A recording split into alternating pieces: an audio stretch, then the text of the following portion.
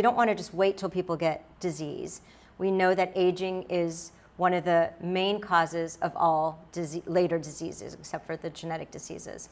So it sounds like you're also talking a lot about differences between someone's lifespan, how long they live, mm-hmm. and their health span. okay, so I'm glad you brought that up because it is a hugely important shift for us to, rather than focus on longevity and maximal longevity, um, to focus on years of healthy living, the health span.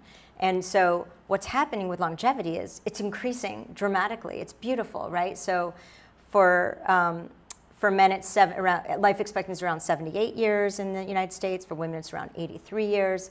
And that is a dramatic shift from even 100 years ago. So we are doing great in terms of longevity overall, but we're doing terrible when you look at actual healthy years of living. Because the longer we, well, first of all, no one wants to live long with disease and suffering. It's all about healthy years anyway. That would be eh, people who have um, you know, taken care of older relatives know that. You don't want to live long when you're suffering. So really, the, um, the longer we live, the more likely we are to get dementia and disability and need to, you know, live in, in institutions, et cetera.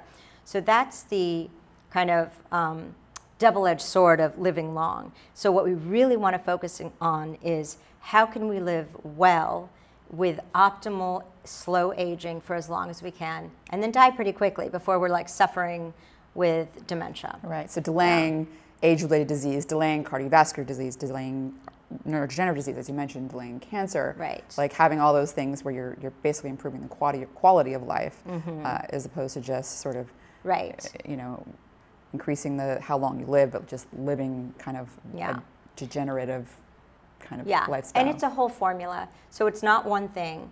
The like the levers that control aging are the things that we know about, but we but we easily forget. So we often hear, you know, about the lifestyle things, so activity, nutrition, stress.